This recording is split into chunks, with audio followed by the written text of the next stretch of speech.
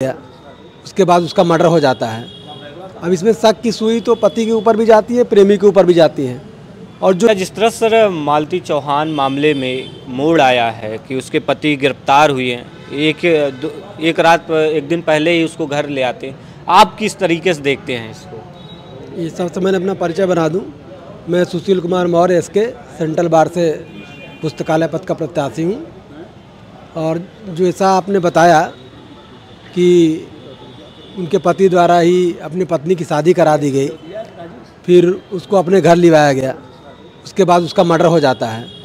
अब इसमें शक की सुई तो पति के ऊपर भी जाती है प्रेमी के ऊपर भी जाती है। और जो बीच में कोई मीडिएटर होगा सुलह कराने वाला चाहे वो यूट्यूबर हो या कोई भी हो वो भी बीच में शक के दायरे में आएगा वो भी जाएगा। कि, कि वो सुलह दबाव में कराया कि किस वजह से कराया कि लोग उससे संतुष्ट नहीं थे। तो और इस प्रकार की अगर हत्या हुई है तो बहुत ही घृणित कार्य है, बहुत ही निंदनीय कार्य है, क्योंकि कानून को अपने हाथ में लेने को किसी का अधिकार नहीं है। अगर किसी को, किसी प्रकार की दिक्कत है तो वो कानून की शरण में जाता है, न्यायालय की शरण में आता है। ये नहीं कि किसी की कोई हत्या कर दे।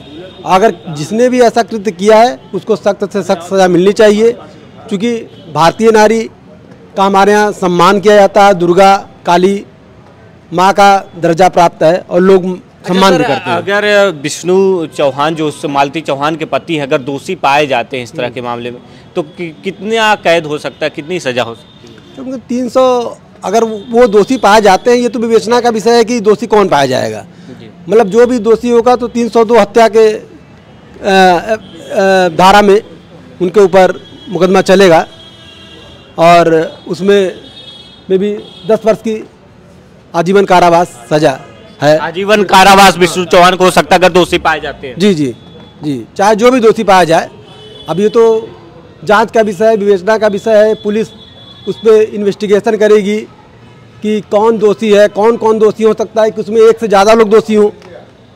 तो जो भी दोषी होंगे चूँकि हत्या का मामला है तीन सौ दो का मामला बनता है तो आजीवन कारावास तक की सज़ा उसमें है प्राविधान में। प्रावधान है आजीवन कारावास की सजा।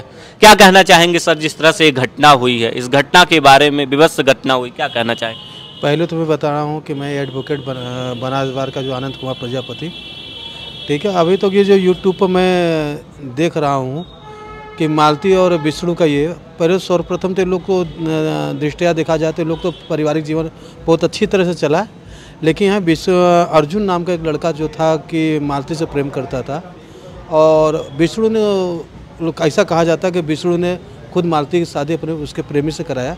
लेकिन इसमें ये तो मालती तो भी तो इसमें राज़ी भी हो सकती है। मेरा तो मानना है कि बिना जबर ज़बरदस्ती से शादी तो हो नहीं सकता है। तो इसमें ज़ाहिर से है कि मालती की उसमें हामी ज़रूर होगी।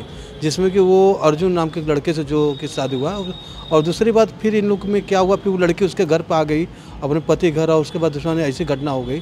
तो कुछ न कुछ ऐसे सच्चाइयाँ जो जाँच का विषय बना हुआ है। और अभी तक तो जो भी आएगा रिपोर्ट पे रिपोर्ट के हिसाब से और जाँच की रिपोर्ट- आने के बाद पता चल जाएगा।